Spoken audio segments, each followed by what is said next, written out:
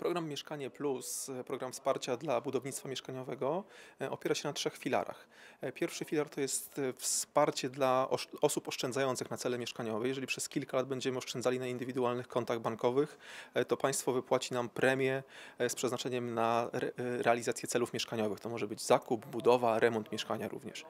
Drugi filar to wsparcie dla budownictwa społecznego, dla samorządów. Tutaj w tym przypadku samorządy, gminy będą mogły otrzymać nawet do 50% dofinansowania e, w przypadku budowy mieszkań, e, również mieszkań na wynajem.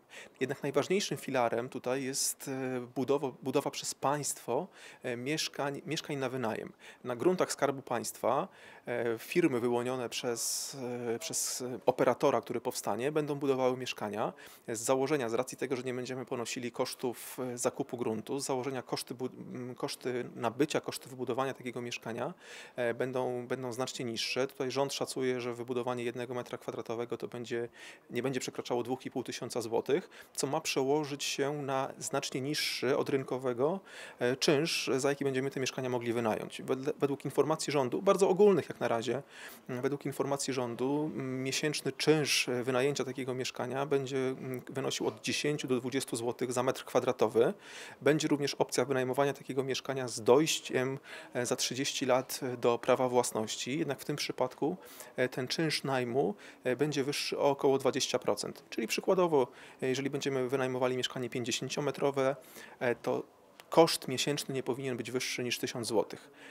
Tutaj te informacje, które do tej pory mamy na temat tego programu, programu Mieszkanie Plus są bardzo ogólne. Bardzo ogólnie również przekazywane są informacje, do kogo ten program ma być skierowany, bo teoretycznie z najmu będą mogły skorzystać wszystkie osoby, każda osoba zainteresowana będzie mogła wystąpić, e, jednak będą pewne preferencje e, dla pewnej grupy osób, na przykład dla osób o niskich dochodach, ale jednocześnie nie mogą to być zbyt niskie dochody, tak żeby te osoby mogły jednak ten czynsz miesięczny spłacać. E, tutaj z preferencji będą mogły skorzystać również rodziny wielodzietne czy osoby samotnie wychowujące dzieci. Będzie określona, nie wiemy w jaki sposób jeszcze, e, będzie określony system punktacji e, i w ten sposób te osoby, które będą chciały skorzystać z wynajęcia po tych preferencyjnych warunkach, e, będą na liście przesuwane nieco wyżej. Jaki ten program przyniesie skutki, jak będzie oddziaływał na rynek e, mieszkaniowy? Tutaj na jakiekolwiek efekty no możemy oczekiwać i tych efektów możemy oczekiwać dopiero w perspektywie co najmniej 4-5 lat minimum, e, bo tyle to będzie trwało. E, nie wiemy jaka skala będzie tych mieszkań, ile mieszkań w ten sposób będzie budowanych w kolejnych latach. Jednak jakiekolwiek skutki, no tutaj to jest perspektywa co najmniej kilku, a nawet kilkunastu lat. Możemy oczekiwać oczywiście, że w 2018 czy w 2019 zgodnie z zapowiedziami zapowiedziami rządu pewne pierwsze mieszkania będą już w ten sposób wybudowane i pierwsze klucze symbolicznie będą przekazywane najemcom.